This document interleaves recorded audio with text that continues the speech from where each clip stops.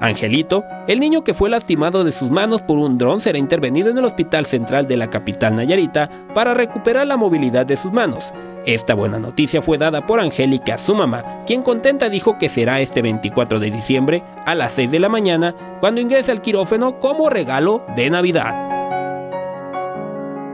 Nos explicaron que iba a estar un poco... Ajá pero que les daba, nos daba el 50% de que se recuperaba. Ya, ya sí ven mucho mejor. Las cosas ya cuando lo estén operando, pues dice, vamos a ver qué tanto más podremos darle. Dice. Dios quiera que sí. Le voy a pedir mucho a mi Dios y a mi Virgencita, porque es la que siempre nos ha ayudado. Angelito desea recuperar la movilidad de sus manos y la vida de diversiones que llevaba antes, y lo ha pedido en su cartita al Niño Dios. Tiene fe junto con su familia en que pronto su vida será como antes. Unas manos nuevas y una tele porque ya no se van a ver dos canales.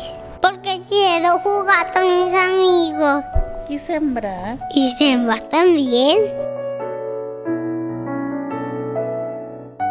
Los gastos corren a cargo de Ana Lilia López, presidenta del DIF, y el gobernador del estado, Roberto Sandoval, quienes se comprometieron en ayudar en el caso de Ángel.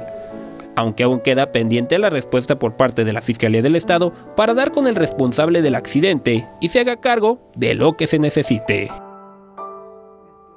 Con información de Grecia Juárez, Francisco Hernández, Mega Noticias.